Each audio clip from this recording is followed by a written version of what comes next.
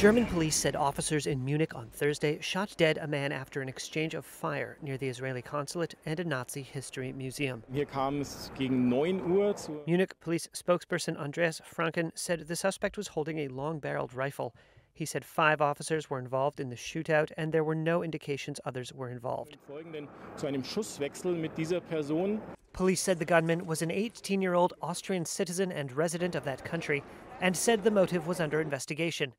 The incident occurred on the anniversary of the 1972 attack at the Munich Olympics, in which Palestinian militants murdered 11 Israeli athletes. The Israeli Foreign Ministry said the consulate was closed on Thursday for a commemoration of that massacre, and no one from the consulate staff was injured in the incident. The consulate is in the same neighborhood as a museum and research institute focusing on the history of the Nazi German regime. The shooting comes at a time of heightened polarization in Germany's political climate. On Sunday, the anti immigrant Alternative for Germany, or AFD, became the first far right party to win a regional election since the Second World War.